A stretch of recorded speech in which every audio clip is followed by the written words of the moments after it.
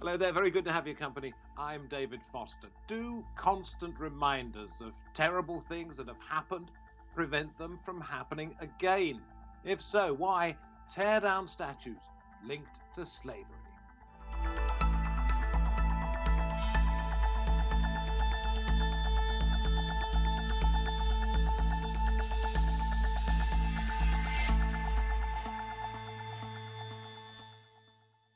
Of course, the other side of the coin is that statues glorify dreadful aspects of history.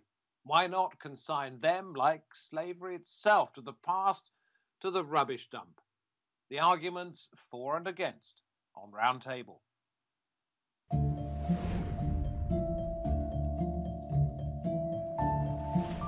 Monuments of controversial figures have been a target during weeks of protest against racism and inequality.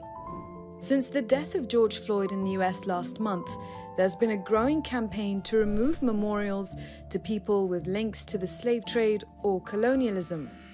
In the UK, a statue of slave trader Edward Colston was torn down by protesters in Bristol. Another slave trader, Robert Milligan, was removed from public view by authorities in London. The city's mayor announced a review into all its statues. Activists have identified 60 monuments across the country they want removed. In the US, dozens of monuments to Confederate leaders who wanted to maintain slavery have been taken down in recent years. Scotland's first black professor, Sir Geoff Palmer, has argued that these statues shouldn't be removed but used for education. For others, they are unacceptable symbols of racism that cannot be allowed to stand. So, should they be protected or put away for good? I'm very pleased to say that we can welcome to the programme Laurence Westgaph, a historian specialising in Black British history and slavery. He's in Liverpool. Natalie Zacek, senior lecturer in American Studies at the University of Manchester, also joins us. And Lord Clive Soley, Labour Party politician who campaigned to get a statue built to honour Mary Seacole, a black nurse who tended the wounded in the 19th century Crimean War. Good to have all three of you on the programme. Thank you for joining us. Uh, Clive, can I ask you first of all? I read a letter that you wrote jointly um, with Geoffrey Palmer to the London Times, in which you said tearing down these statues is a big mistake. What was your reasoning? Basically, I think uh, if you try and uh, bury your history, you can't learn from it. So I, I, I have no problem. Indeed, I would encourage a more explanatory uh, plaque or, or memory in a museum or whatever for these statues. I don't object to them being moved particularly, but I think just trying to bury them and get rid of them is and pushing them over is not a good idea. The key problem in Britain, frankly, has been for a long time institutional racism, and it's that which we've got to deal with. Um, and I'd far rather focused on that than simply getting rid of statues, which uh, I think tends to be at best short-lived and won't necessarily teach people uh, about the past and how we need. Well, you see, I was, I was looking at um, the campaign that you ran to get Mary Seacole's statue built, and mm. uh, one of the lines you put on the website was um, about people who'd come to this country, the UK, from across the world to be part of our society, and I'm quoting now. And who've added so much of value, making it such an open, diverse, and inclusive one that we all appreciate and enjoy today. What we're seeing here is the exact opposite of that, isn't it? I think it is, and the dangers are real. I mean, if you read, Mary Seacole also was uh, one of the first black women to write an autobiography. If you read that autobiography, there are several statements in there which are very clearly racist, um, and including against people of African origin. Now, she and, and let's be clear, she was British Jamaican, wasn't she? Well, she was born and brought up in Jamaica, and she lived most of her life there. She got herself to Britain at, uh, on a couple of occasions, actually, and then got herself to the Crimea to nurse soldiers there. She nursed in South America and in and in the uh, Jamaica too. She ended up her life ended up in. Um, Britain, and she was very, very popular here, actually, particularly with. But, racist as well, you say? Well, there were comments the the book which you, if they were said now, would cause distress to people who had strong views about this. So you have to understand it in the time. That doesn't justify it. It does mean to say we have to learn from the past, but not bury it. You, that's what my worry about pushing statues over and just getting rid of them is. Uh, it is far better to learn from them. That means either keeping them there, maybe with a plaque up, possibly if they're particularly uh, obnoxious in their history, maybe putting them in a museum or something of that nature. Simply pushing Which them over, even if if we did that with all statues, you'd simply fairly soon run out of steam, and George Floyd's death would have almost been in vain. And I, I, I, regret that. I mean, it would be a great pity if we lose this opportunity in Britain, I'm talking about now, not the US, to deal with institutional racism. You see, the thing is, um, and Natalie, I, I know you looked into this, is in other countries, I think in Budapest as well, they have moved controversial statues to a place a museum or in some cases in another country to a cemetery where they can be viewed for what they are rather than in a sense glorifying what they represented at one stage. Yes, that's the Memento Park on the outskirts of Budapest. And many of the statues, for example, to Lenin and to Stalin, that were erected during the period of communist rule and were very unpopular after 1989, were removed from their sites in the city center and then taken to the Memento Park. Anyone, whether a tourist or a Hungarian, can go there. They can see the statues. So the statues were not destroyed.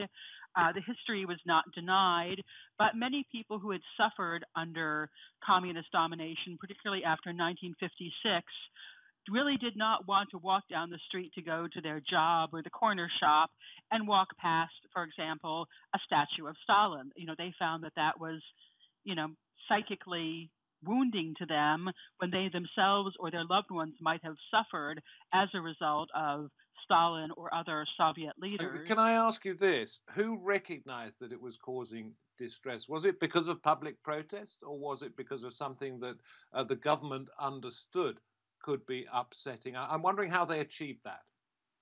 Um, I have to admit, I'm, I'm, a bit unclear about that. It does seem to have been a consensus. I don't believe that uh, people had actually, you know, taken their own actions to destroy or remove the statues.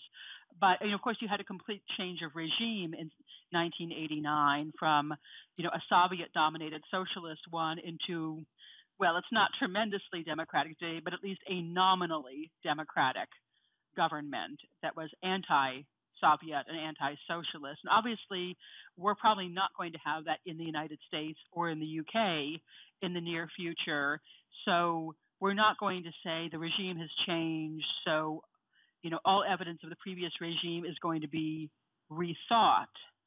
Um, but for example, I mean, I'm I am not a person of color, but were I a person of color, and even as one as a white person, um, I don't live in Bristol, but if I did, I think it might be somewhat painful to regularly walk past the statue of Colston, a man who made a fortune directly. You know, he was not simply a beneficiary of clever investments in the cotton trade, he was a trader in human beings.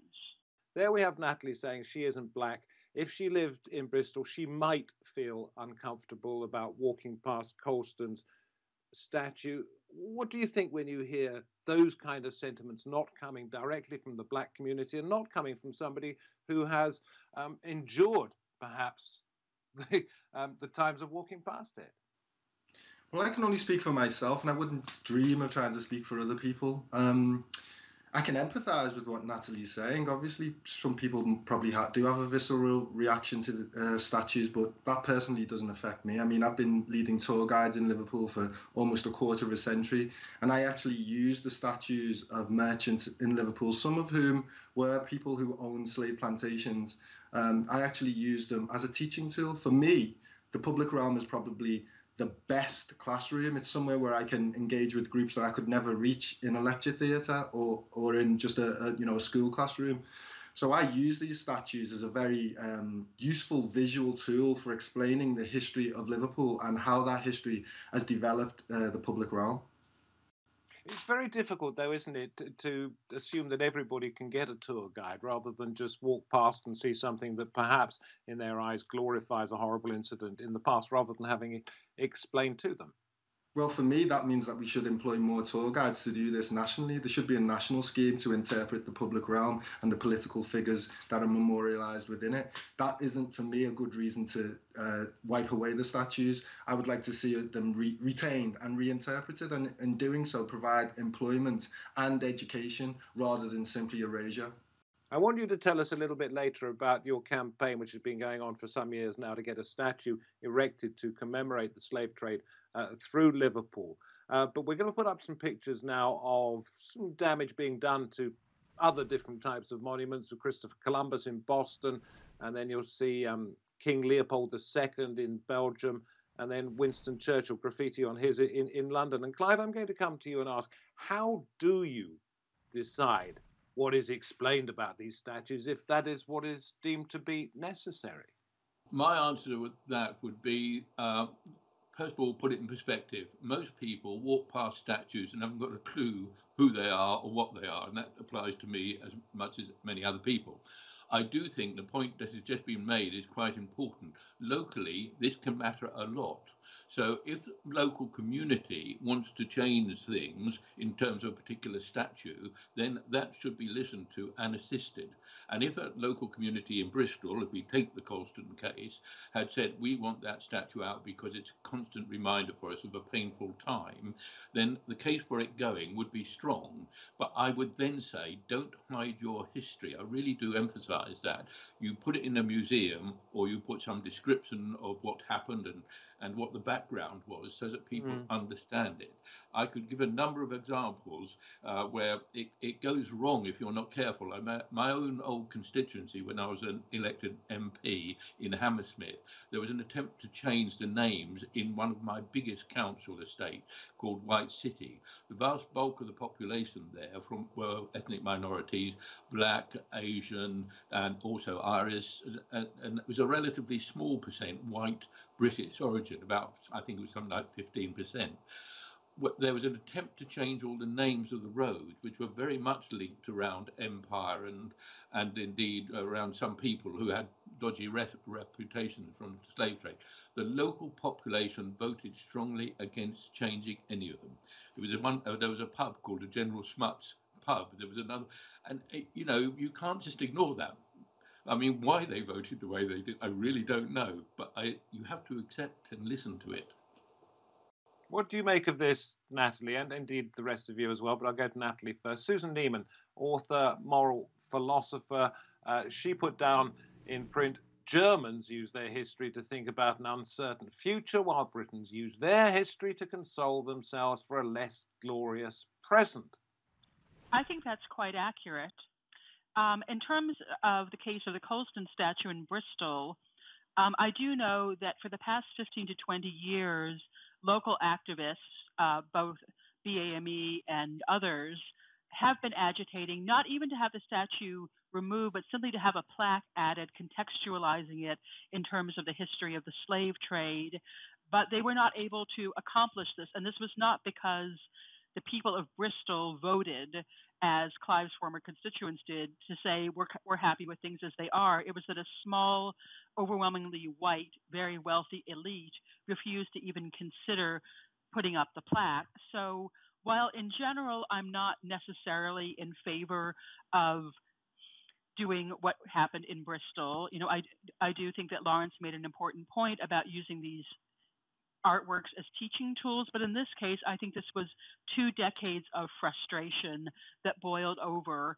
Um, so in that case, I am quite sympathetic to it. I'm also somewhat skeptical of the idea that if a statue comes down, whether through direct action or um, the decisions of local citizens or councils, that history is somehow erased. There's no statue that I know of anywhere in the world in public of Adolf Hitler, but we haven't forgotten who he is. There are no statues anywhere of the Prophet Muhammad because Islamic tradition forbids that kind of representation, and yet Muhammad is still pretty well known. So I don't think that when a statue is removed or hmm. recontextualized or placed elsewhere, that somehow we have erased anything. Okay, therefore you have to perhaps question the, the the benefit of taking it down if memories do still remain. Laurence, let me ask you this one.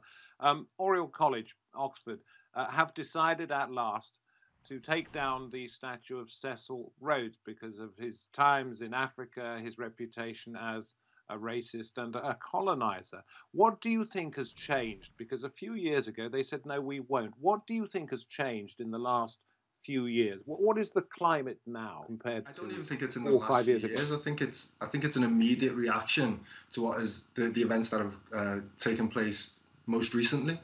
Um, that's led in many ways to a lot of organizations, institutions reevaluating their positions on this particular issue. I mean, whether or not that means Rhodes scholarships will go, or if they'll be they'll change the focus and maybe associate them totally with the countries that uh, Rhodes was so responsible for exploiting, rather than you know rich people, the likes of um, the Clintons, etc. Um, that would probably be a more constructive step from my perspective than simply removing his statue. Again, for me, and, and reevaluating that's, that's, genuinely, you think, or is it just knee jerk?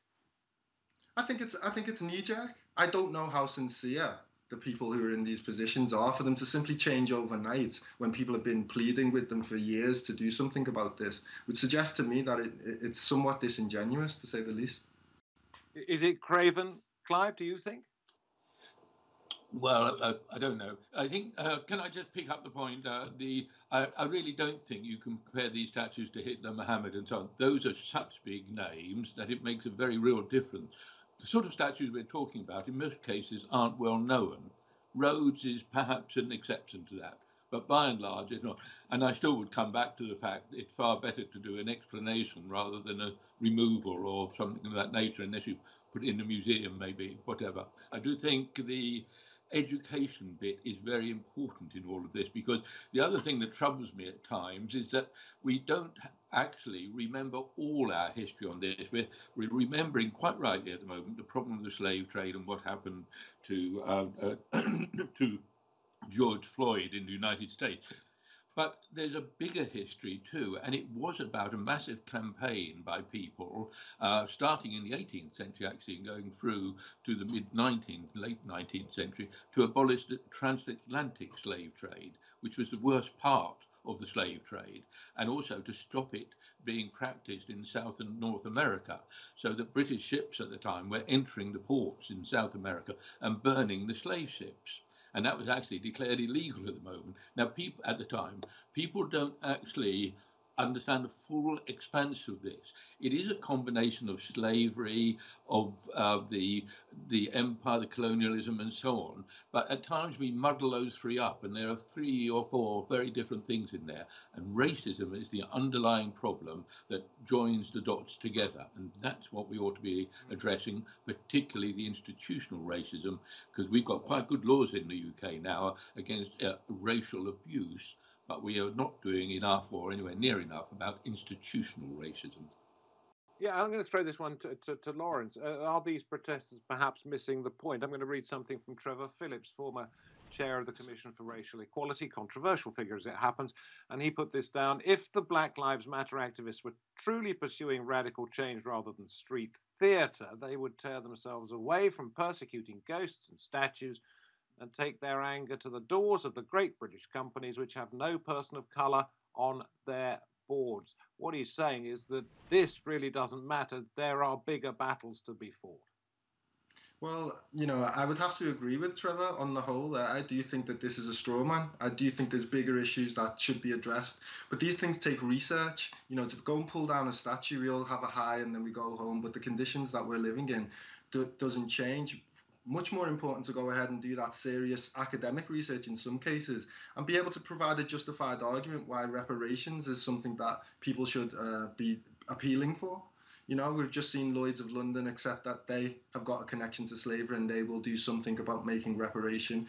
Could do that across the board for many institutions that can direct, directly trace their links back to slavery. I feel that Black Lives Matter would probably be better served if they were involved in some of this longer term, more difficult types of activism that will actually change things for people in their everyday lives rather than simply um, pulling down um, inanimate objects. I'm going to come back to you and ask you about uh, your plans for an inanimate object uh, in Liverpool in just a moment. But Natalie, I want to bring up Clive's point that this is also mm-hmm. very nuanced. That um, although there was slavery and people were transported from Africa to Britain, Britain to the United States, other parts of the world, there was bravery too in, in the way that the British slavery having been abolished went about trying to enforce that sailors lost their lives etc etc you cannot simply say that this is what happened and this is wrong so how could putting a plaque on something explaining it explain it well i think for example if for example the colston society in um, bristol had been willing to add a plaque saying colston was indeed you know a, a very inspiring philanthropist to the city of Bristol. You know, he he made a huge fortune and he gave most of it away, um, for example, to educational charities and to the development of the city's infrastructure. And that's indeed praiseworthy. He could have just sat around being a rich man, indulging himself. On the other hand, I think it is important to say where did that money come from? Um, that you know the reason that he had so much money to give away was that he traded in human beings. He bought and sold men, women, and children. He took them from their lives in Africa. He sold them, the survivors, who were probably only about 80. Natalie, with all due respect, how are you going to fit all that on a plinth at the bottom of the statue? You could probably at least uh, put it down to two or three sentences, and you could also probably have, you know, a suggestion of, of where you could find further information. And that would be good enough. I think it would be a start. You know, no black or minority British person's life was made better in terms of their educational or professional opportunities. Um, no potentially racist and violent police officer decided not to be abusive to minorities in the UK when the Colston statue went into the harbor. So in that sense, you know, I, I somewhat agree with Trevor Phillips, but I don't think it's an either or. I don't think either you engage in sometimes theatrical protests and put graffiti on or tear down statues, or you are seriously committed to solving institutional racism. I think yeah. many people are both. Okay, well, we're talking about pulling down statues. Now we're going to talk about putting them up. And Clive, I want to get your thoughts on how hard it was to get Mary Seacole statue outside St Thomas's Hospital in London. Some advice for Laurence, and then your campaign, Laurence, to get a statue built um, in not in honor of slavery, but uh, commemorating slavery in that city. Clive, you first. Mary Seacole, how hard? It was hard, and frankly, people are not interested so much in giving money for statues these days. They'd rather give uh, money to some good cause, uh, you know, the cure of cancer or something of that nature. So raising money is hard, and it took me 12 years to get all the money I needed for that. Uh, I think it was particularly difficult because she was a historical figure, way you know, way back beyond many people's experience or knowledge, and she'd only just been introduced to the British educational curriculum. So young people often knew about her, the older generations didn't. And yet she was profoundly important at times and very popular. Um, and advice say, for Laurence, if you wouldn't mind find some people or organizations with large sums of money who want to do something for the arts. That is your absolute key. And get on your committee people who've got those contacts. I had some wonderful people on my committee. They were nurses and they were really driven and they raised Clive, I, th- I, think we're going to have to get you on the phone to Laurence. Enough. The program's, the program's almost wrapped up. And Laurence, I wanted to ask you, what obstacles have you found in your way, as, apart from, from money? Uh, people don't want to see this sort of thing, perhaps? There's always that objection here in Liverpool. There's also an issue around history. Some people are unaware of this history. Some people will tell you slaves never set foot in Liverpool, although Liverpool was the, the main slave trading port. But what we've done is we've created a justification through for that through um, the historical groups that I uh, run, which do use academics for their activism. So we use primary evidence to prove the point that we're trying to make. And so far, we've received some really positive uh, support from uh, the general public. We raised a fundraiser when I saw the Colston statue came down, almost out, out, out of desperation. I started up a, a, a, fundraiser on Facebook, and it's currently raised thirty-five thousand pounds. So there's been a lot of really positive goodwill towards what we're trying to do here in Liverpool to acknowledge those who uh, lived in Liverpool and were enslaved who died here and were buried here but lay without a marker. So that's how, how long has it taken you so far, and, and how much do you? Need? Well, well, again, I could give you a much longer context, but since I've gone public, that money has been raised within two weeks. So you know, if we continue to to to uh, go along that path, we should have enough to do what um, uh, what we're intending to do within a very short period of time. And have you thought of the words you're going to put at the bottom? Well, it's not a memorial to the wider issue of the slave trade. It's simply to the Liverpool enslaved, the Liverpool, the enslaved people who lived, died, and were buried here in this city, who were totally forgotten, who laid in, in, in unmarked graves for over 250 years. And we we think about now it's about time in a city that is so replete with statues and memorials to the great and the good who made their money through enslaving these people, that they too should have a memorial here in the city in which they died. Look, I appreciate your thoughts, each and every one of you. Uh, that's Laurence Westgaph talking to us there from Liverpool. Uh, Natalie Zacek's in Manchester and Clive Soley in the north of Scotland. Thank you very much indeed for coming on the programme. And thank you for watching this episode of Roundtable. From me, David Foster, and the team that made this possible, we hope to have your company next time. Until then, goodbye.